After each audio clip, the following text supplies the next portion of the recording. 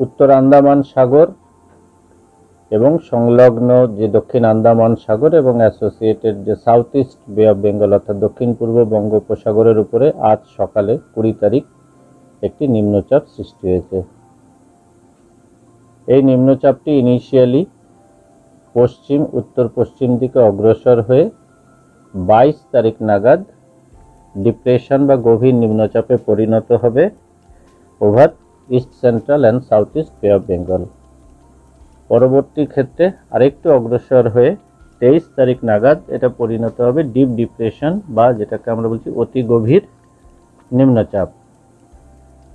Deep ডিপ্রেশনে পরিণত হওয়ার পরে এর মুভমেন্ট কিন্তু একটু রিকার্ভ করবে, অর্থাৎ নর্দার্লি মুভমেন্ট শুরু হবে। শুরুতে যেটা ছিল পশ্চিম উত্তর পশ্চিম দিকে সেটা তারপরে উত্তর দিকে, অর্থাৎ নর্দার্লি রিকার্ভ করার পরে চব্বিশ তারিখ নাগাদ এটা ঘূর্ণিঝড়ে পরিণত হওয়ার সম্ভাবনা। ঘূর্ণিঝড়ে পরিণত হওয়ার পর থেকে এটার মুভমেন্ট আরও রিকার্ভ করতে থাকবে এবং ধীরে ধীরে উত্তর উত্তর পূর্ব দিকে অগ্রসর হয়ে পঁচিশ তারিখ নাগাদ আমাদের ওয়েস্ট বেঙ্গল বাংলাদেশ কোস্টের কাছে আসবে। সমুদ্রের ওপরেই কিন্তু থাকবে সেই সময়টায়। এরপরে ফার্দার মুভমেন্টটা আমরা নেক্সট আপডেটে দেব।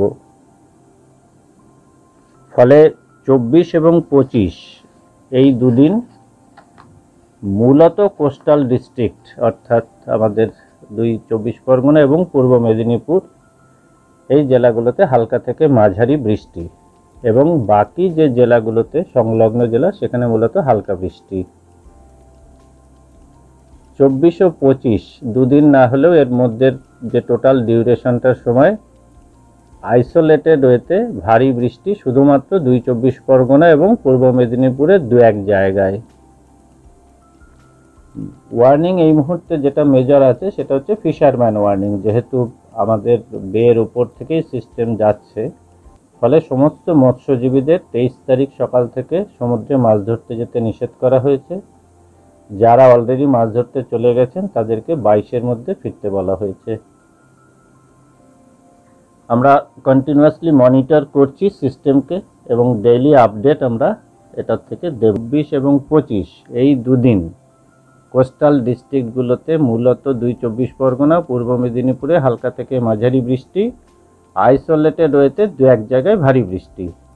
বাকি যে পশ্চিমবঙ্গের যে, দক্ষিণবঙ্গের যে বাকি জেলা, সেখানে মূলত হালকা বৃষ্টি, উত্তরবঙ্গের ক্ষেত্রে বৃষ্টির সম্ভাবনা নেই। কেন? যেটা হচ্ছে আজকে কুড়ি তারিখ, সমগ্র পশ্চিমবঙ্গ থেকেই বর্ষা বিদায় নিয়েছে।